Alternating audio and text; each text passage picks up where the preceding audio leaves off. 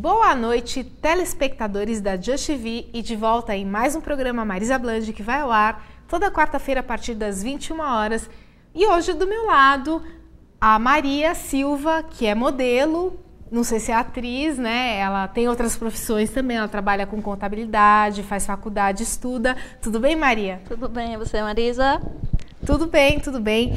Eu queria saber o seguinte, né? Vamos falar sobre moda, sobre modelo, porque você tem só 21 anos, está começando e você ainda está decidindo o que fazer da vida, mas você já está no caminho, né? Porque eu vi umas fotos suas que a gente vai mostrar daqui a pouco, tal. É, você acha que a modelo ela incorpora uma personalidade de repente determinada por um fotógrafo, por um desenhista, uh, por um pintor? Ela, ela tem que assumir um personagem? Me fala um pouco sobre isso.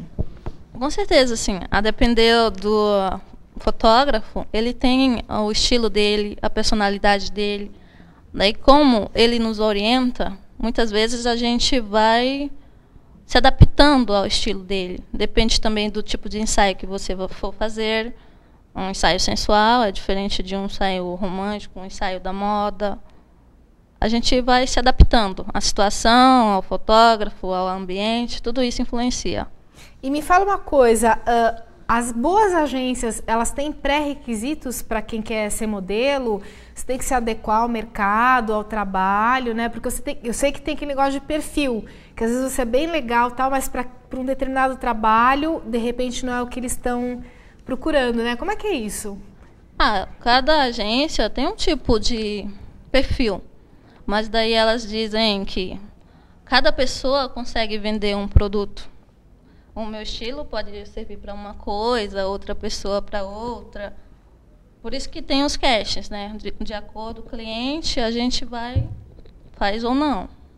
Ah, sim, você vai lá, é, uma, é um preview, né? Uma entrevista, você até conversa lá, eles te observam e de repente, se tem a ver, eles te chamam, né? Isso. Uhum. E me diz uma coisa. Uh, Modelo artístico, né? Modelo de, tem vários tipos de modelo, né? De passarela, de fotografia. Isso. Você acha que a exigência é maior na passarela? Na passarela, sim. A altura influencia. Você tem que ter um corpo, digamos, mais perfeito. Daí, quando você é modelo fotográfico, você tendo, uh, sendo fotogênica e se adaptando com o trabalho proposto, aí fica mais fácil do que o passarela. Mas é bem gostoso também. Olha só, já temos mensagem aqui. O Reinaldo de São Paulo está tá falando, perguntando: vocês estão ao vivo? Estou conhecendo agora. Olha só, aqui na Just é legal porque sempre tem gente nova, tem a, a, audiência antiga que é fiel, que continua e tem sempre gente nova assistindo, né? Isso que é legal. que mais aqui? Deixa eu ver. Opa! Nossa, peraí. Maria Brasileira. Não, não, não. Ah, tá. Eu vi. Não, não, não, não é. É porque é o teu nome. Maria é o mesmo nome, achei que fosse para você. Porque inclusive é escrito igualzinho o teu nome com Y, né? Isso. Deixa eu ver aqui mais aqui. Uh, não, por enquanto não, vamos continuar. Você acha que a moda é uma forma de comunicação? Com certeza. O, o, tipo de roupa que você veste, de certa forma, demonstra a sua personalidade. Uhum. Há, há, dias que você, supondo, acorda mais feliz, uma roupa mais alegre. Quando a pessoa te vê, já sente isso. Hoje ela está bem, a roupa dela está mostrando bem. Isso é nossa, que engraçado. E você acha que a pessoa muda o comportamento dela de acordo com a roupa que ela está usando? Por exemplo, eu sei que o clima influencia. No clima frio, você vai usar um sobretudo, você vai usar uma jaqueta. E num clima quente, um top, numa praia, uma mini saia, né? Você acha que isso modifica o comportamento das pessoas? Ambientes, clima, tudo modifica. A depender do lugar que você vai, tem uma roupa específica que combina mais e tal. Olha só, não, engraçado isso, né, tal. Inclusive, tem um estranhamento, né? Pessoas que não são daqui vêm para cá, veem as, uh, o jeito de se vestir, de agir acham diferente, né? Verdade, clima... porque assim, eu sou baiana, uhum. daí meus colegas, em tempos frios, às vezes eu visto roupa de calor. Aí falo, nossa Maria, que calor, isso tudo é da Bahia. Tanto é que muitas pessoas me chamam assim, Maria da Bahia, Maria da Bahia. Olha só que legal. e que mais aqui? Uh, assim, não, agora eu quero falar sobre uma coisa polêmica, né? Porque na França, as árabes, elas normalmente usam burca e na França foi proibido. Então você não pode sair na rua de burca, mesmo que você seja árabe e mesmo que você queira, porque tem mulher que quer, não é o marido que está impondo, ela quer porque ela pratica a religião, aquilo faz parte, ela se sente bem, ela gosta, ela quer. Só que lá proibiram e se a pessoa colocar a burca, ela tem a família, no caso, tem que pagar uma multa, né? Então, e, e, e, daqui a pouco a gente vai falar também sobre a modelo Somali, uma história que tem também que eu quero comentar. O que, que você acha sobre isso? Ah, toda sociedade tem um padrão. A pessoa, como eu disse, a gente tem que se adaptar ao ambiente, adaptar-se às pessoas. Se, se, se na França não aceita e a pessoa usa, ela já foi para lá sabendo que não aceitava. Então. É, porque é uma forma de. Por exemplo, é uma coisa que aos olhos do ocidental é horripilante, né? Submeter a mulher, de certa forma, a uma opressão muito grande, né? E aos olhos do ocidental é horripilante. Inclusive na Europa tem muito mais disso, árabes, né, que, que praticam, mesmo usam burca do que do Brasil, porque no Brasil eu nunca vi uma mulher de burca, para falar a verdade. eu também nunca Eu vi. já vi árabe com véu, tudo, mas de burca eu nunca vi, sério, eu nunca vi. E outra coisa que eu queria comentar é o seguinte, que tem uma história que eu li na, na Marie Claire uma vez, que era uma modelo é, africana, que ela virou modelo depois, porque ela era africana, ela morava com a família lá, e eles foram para a Europa numa viagem, e ela pegou e enterrou o passaporte dela ela num terreno ali, e a família voltou para a África e tinha que voltar de qualquer jeito, porque senão não ia ter dinheiro para pagar outra passagem. Então eles tinham que voltar, não tinha jeito. E ela estava sem passaporte e ficou. O tio, é, sei lá, e ficou irado, né? Ficou com muita raiva. Mas falou assim: vou ter que te deixar aqui porque a gente tem que voltar, porque senão a gente não vai poder voltar depois. E voltaram e ela ficou, no caso lá na Europa e virou modelo internacional. Ela enterrou o passaporte para não ir para a África, mesmo porque ela tinha sofrido a tal da mutilação genital feminina, que é uma coisa que quando às vezes até criança de 5 anos eles já fazem nas mulheres, né? Quando as mulheres nascem, eles fazem a mutilação genital, porque eles acreditam que ela não vai arrumar marido anos depois se ela for uma mulher que não tiver essa condição, né? Que o marido ele só aceita a menina com com esse tipo de coisa, né? Com esse tipo de característica. Então, é uma coisa assim absurda, né? Para os padrões ocidentais. E ela realmente não aguentava isso. Ela não, ela ficou por lá, né? Daí dessa história dá para perceber que muitas vezes, em busca dos sonhos, a gente tem que fazer sacrifícios. No caso, ela foi bastante corajosa. Foi bastante corajosa, a porque família. a família, inclusive, ficou assim, é, tiririca da vida, né? Mas teve que voltar porque eles não tinham dinheiro e se eles não voltassem, eles não iam poder fazer isso depois, iam ter que ficar lá e ia dar uma confusão. Então eles voltaram e ela ficou por lá. E, a, e essa matéria saiu na Marie Claire. E ela é uma mulher negra, assim, belíssima, e saiu. Depois ela virou uma modelo internacional e tal. Então, é isso que eu ia te perguntar. Na vida, você tem que arriscar, né? Muito. Em busca dos sonhos, vale qualquer sacrifício. Nossa, olha que legal. E você me falou que você tem outra profissão, que na verdade você é analista contábil, Trabalho. né? Como Você... analista contábil, faço bacharel em ciências contábeis. Daí eu concilio minhas duas profissões, modelo, analista, estudante. Quer, quer dizer, você faz a faculdade, você trabalha e a, no final de semana, quando dá tempo, você é modelo, né? Sim. Olha só que legal. Muito gostoso. Muito bom. Peraí, vamos ver se a gente tem perguntas aqui. Atualizar. Opa, peraí que demora um pouquinho, tem que atualizar.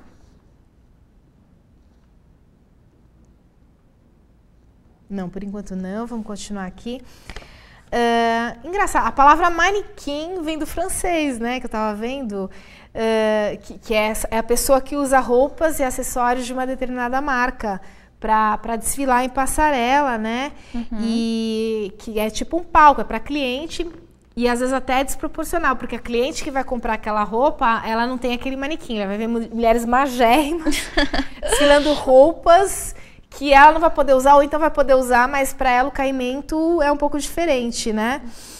Verdade. E aí, esse termo foi muito usado em Portugal, aqui no Brasil ninguém mais fala manequim, né? Eu lembro que quando eu tinha 15 anos, eu fiz o curso da Joyce, lá no Oscar Freire, e chamava Joyce Manequins e Maneiras, mas hoje em dia ninguém fala manequim. Aí não era só curso de modelo, tinha passarela, você andava lá na passarela, mas tinha curso de etiqueta também. Você aprendia a usar talheres, sério, eles colocavam, eles colocavam um prato. Normalmente todo curso de modelo a gente aprende esse tipo de coisa. Etiqueta, etiqueta aprende a usar talheres num jantar. Isso. Era bem legal, era divertido pra caramba, né?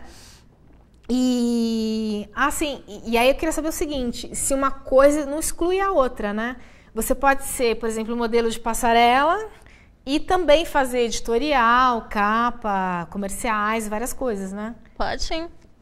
É, se, é aí que tá, você tem que ter o perfil que eles estão procurando na hora, né? Isso. Para aquele trabalho. O seu perfil, encaixando, você, mesmo não tendo altura, pode ser passarela, uhum. mesmo não tendo corpo, pode ser fotográfico, se você encaixou no perfil do propósito da campanha, tá dentro. Tá dentro, é. Tem que ser aquilo que eles estão procurando. Por exemplo, uma, uma, vez há muitos anos atrás eu fui fazer uma, um teste para uma propaganda que era de gelatina e ia passar na Argentina a propaganda. Aqui não, olha só. Aí você tinha que saber dançar, porque você tinha. Aí tinha umas meninas que elas dançavam assim, que parecia que elas estavam com um corpo mole para imitar a gelatina, sabe? Tinha que dançar muito bem. Então. Tem que ser assim, meio atriz também. Tem que ser meio atriz, exatamente. Então, eles estão procurando aquilo. Se você é aquilo naquele momento, naquele lugar, você ganha, você leva, né? Isso. Momento certo. Momento certo, hora certa, no lugar certo, Isso. né? Realmente. Ah, outra coisa que eu, que eu queria falar, né? Uh ah, tá. É, você, por exemplo, foi difícil você começar a tua carreira? Por que, que você decidiu? O que, que te uh, incentivou essas coisas? Muitas pessoas me incentivaram. Elas sempre disseram que eu tinha talento para isso. Quando eu morava na Bahia, eu fiz alguns desfiles com roupas recicladas, tal, meio trabalho voluntário. Daí, daí surgiu o meu interesse pela área. Daí eu vim para São Paulo, algumas pessoas me estimularam, me indicaram para agência, daí que tudo começou. Ah, sim. E você não tem raiva? Porque eu acho que toda modelo passa por isso. Você vai numa agência, aqueles bookers, né? Eles olham para você assim e falam assim: ah, precisa emagrecer 5 quilos, precisa operar o nariz, precisa botar uma cinta liga, entendeu? Eles falam na, na bucha. Às vezes, isso quando eles não pedem pra você ficar. Nu... Não, nunca fizeram isso comigo, sério. Mas quando eles. Isso quando eles não pedem, que eu já vi história, que eles pedem pra mulher ficar nua na frente deles. Assim, fica nua que eu vou olhar para você e ver se você tá de acordo. No meu caso, o biquíni. Ah, biquíni, é, biquíni. Como é que é isso? Como é que você se sente nessa situação? Ah, assim, meio. para você fazer isso, você tem que gostar de você. Uhum. Porque se a pessoa diz, você não tem talento, mas você acredita nele, corre atrás. Se uma porta está fechada aqui, outra vai abrir lá na frente. Na verdade, não deixa de ser divertido. Sabe por quê? Uma vez eu fui para uma seleção de uma propaganda e foi todo mundo, todas as minhas amigas foram, as bonitinhas, né? Foi minha prima, fui eu, foi a amiga dela e tal. Aí, assim, na, na hora que. Che quando chegava a nossa hora, assim, ficava uma hora na sala com o cara, a gente não sabia o que estava acontecendo, é sério. Uhum. Ficava naquela curiosidade, meu, mas que, que tem tanto assunto? Será que tem prova? A menina tá lá fazendo prova. Porque... Aí chegava a nossa hora, a gente entrava, pelo menos comigo foi assim, já tinha ido minha prima, a, amiga, todo mundo. Aí entrou lá na sala, o cara falou assim, ah, eu vou mostrar o vídeo de todas as meninas que fizeram o teste. Aí ele mostrava todas as meninas lá fazendo teste, aí você viu o vídeo da tua prima, você viu o vídeo da tua amiga, você viu o vídeo de todo mundo. Entendeu? Era divertido, não deixava de ser, meu, porque, meu, rachava o bico lá, cara. que nervo, né? Você via a mulherada lá tremendo, nervosa, lá fazendo o vídeo, fazendo. A, ele dava uma fala lá, você tinha que dizer alguma coisa pra câmera. Aí você via de todo mundo que você conhecia, não deixava de ser muito divertido o negócio, né? Realmente é. Daí também temos no curso de modelo esse ensaio. Mais ou menos o que você disse. Eu já fiz. Muito bom. É? Como é, que, como é que foi esse curso? Então, uh, a agência que promove, né? Daí uhum. te dá aulas de etiqueta, maquiagem, passarela, como se comportar diante das câmeras. Dá um resumão de tudo que uma modelo precisa saber. Olha só, o Renato de Goiás está falando aqui. Uh, Maria, você já levou alguma cantada ou fizeram chantagem para você em troca de trabalho, alguma coisa? Nesse meio, essas coisas sempre acontecem. Ah. Só que vai do caráter da pessoa. Tipo, eu não preciso disso para trabalhar. Se você confia no meu talento, confia no meu talento, mas não exige esse tipo de coisa em troca. Porque eu não vou deixar, digamos, a minha dignidade de lado por uma coisa que eu posso fazer, mas eu vou me sentir o quê? Suja com isso. Não compensa. Olha só que mais, vamos ver aqui. Não, por enquanto não. Ah, eu queria saber o seguinte, quais são os seus planos assim para o futuro? E não, eu, que eu estava aconselhando ela, gente, isso é sério, nos bastidores, eu falei assim, olha que eu vou fazer o que você pediu, hein? É, eu falei assim, aqui no Brasil é o seguinte, não é um país de gente muito clara, é um país pardo, mas eles só colocam loira na TV. É sério, eu falei isso pra ela, é verdade. Eles só colocam loira de olho azul na TV. Então o que acontece? E na Europa não, na Europa é um país de, que não é pardo e que eles dão chance para tudo quanto é tipo de modelo, morena, né, esse tipo de coisa. Então eu falei, Pra você é bom. Eu iria se eu tivesse 15 anos. Sério, 15, 16 anos. Sério, porque aí se você erra, se não dá certo, você tem, tem tempo, o quê? De corrigir, né? Foi o que eu tava te né? falando, né? E assim, aqui no Brasil, é... não, sério, eles tiram muito sarro. Basta ver o pessoal do pânico, né? Que eles vivem tirando sarro de todo mundo e tal. Então você tem que ter estômago. Não, sério, eu tô falando umas coisas, eu sei que eu posso estar sendo inconveniente, mas eu falo o que eu penso. Você tem que ter estômago para aguentar algumas coisas aqui no Brasil, é sério. Entendeu? O que, que você acha sobre isso? Ah, Assim, eu tenho muitos amigos na Europa, principalmente em Portugal. Uhum. Daí eles falam, ah, Maria, por que você não vem pra cá? Tem mais oportunidade, o seu perfil se encaixa em muitas coisas. Você tem uma beleza diferente e tal. Como lá não tem muitos negros, né? Daí isso é um diferencial. Já que no Brasil, a maioria é negra, mas às vezes as oportunidades não chegam tanto pra gente.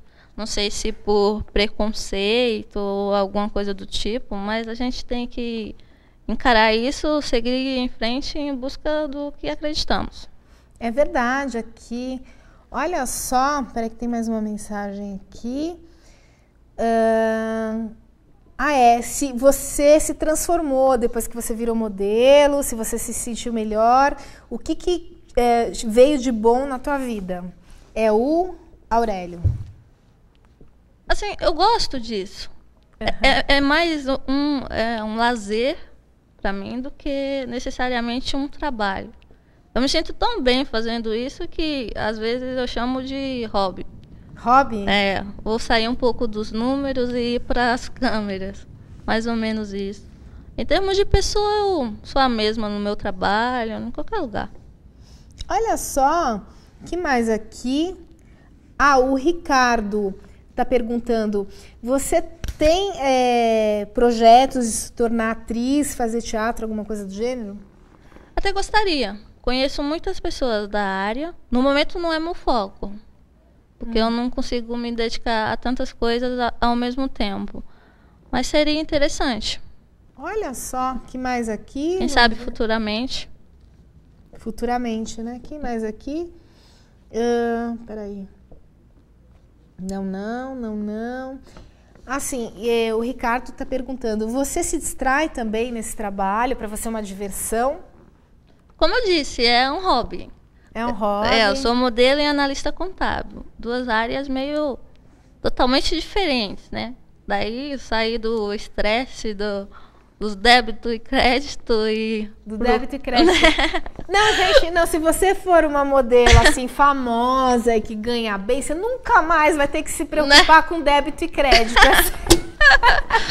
Ó, cruzando os dedinhos. Você não fala. Gente, em matemática, o pessoal fala assim, mulherada burra porque é ruim de matemática. Mas matemática é pra pobre, porque rico não precisa contar dinheiro. É né? Matemática para pobre, rico não precisa contar, entendeu? que mais aqui? Hã? Nossa, agora eu tô ficando doidinha mesmo. Uh, ah, é. O, Alexandre está perguntando aqui. Uh, você aceitaria algo tipo posar nua? Pousar nua. Uma proposta a se pensar. Não diria uhum. sim de cara. Tudo meio que depende. Eu já fiz trabalhos de no artístico. É. Mas diferente. Não, você viu o André Gonçalves, que ele até está fazendo um papel agora muito bom na novela, acho que é aquela Morde a Sopra, né? De homossexual, e ele não é, pelo menos aparentemente não é, já foi casado com três mulheres, tem vários filhos. E ele tá perfeito, assim, e aí perguntaram, você posaria nu? Ele falou, por 5 milhões sim. No, em que contexto? Num contexto revista feminina gay, porque num contexto artístico na novela ele não cobraria tanto, né? Aí ele fala assim, depende do contexto, porque uma coisa é eu posar para uma revista, outra coisa é eu fazer novela, um personagem. O que, que você acha sobre isso? Realmente, é. Tudo meio que depende. Se, é. se vale a pena, eu vou pensar. Se eu achar que eu devo, eu faço. Se não, nem por milhões, assim. Nem por milhões, é não. é verdade. Você não pode fazer nada que agrida você, né? É, se, não, se eu não Nossa, vou me sentir bem fazendo isso, eu nem por milhões. Gente, Fernando, Brad Pitt, deu tilt aqui, Brad Pitt. Tá, vou continuar, mas vem alguém aqui, por favor, Brad Pitt. Peraí. Olha só. E. Hã? que foi? Não, ele já tá vindo aqui, o, o nosso. Aí, não, eu queria saber o seguinte. Você cuida assim da sua saúde, faz dieta, uh, exercício físico? O que, que você faz para cuidar da sua saúde? Eu sou meio sedentária em termos de exercícios, não pratico muito. Uhum. Agora, em termos de alimentação, procuro comer coisas saudáveis. Ah, é, tem um prato, porque eu sei que na Bahia o pessoal come muito acarajé, né? Acarajé. Do acarajé eu gosto só do camarão. Do camarão? então, eu sei que tem uma, uma alimentação diferenciada e que às vezes pode até fazer mal, porque quem não está acostumado é, come aquilo. Bastante temperada. Você, bastante temperado. Né? Você não tem costume. Tem até uma tia minha que ela foi pra Bahia e aí o garçom perguntou: você quer frio ou quente o prato? Ela. É óbvio que eu quero quente. Ela entendeu que era o prato gelado, mesmo frio ou quente, né? É óbvio que eu quero quente. Aí chegou hiper apimentado, quer dizer, quente era apimentado e frio era sem pimenta. Né? Ela não sabia. Aí ela se ferrou, né? Ficou toda dizer, quente. Essa, essa diferença de, de, cultura que existe entre um estado e outro, a, a, a, a, como é que é? As denominações que a gente não conhece, né? Verdade. Então eu queria saber o seguinte: é perigoso para quem não está acostumado a comer um negócio desse?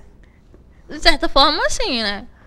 o, o organismo está acostumado com outro tipo de comida. Daí você coloca algo tão pesado dentro. Ah, então tá. Então, peraí, que o Brad Pitt aqui, enquanto eles arrumam as perguntas lá pra gente, vou mostrar suas fotos, né? Que tem fotos.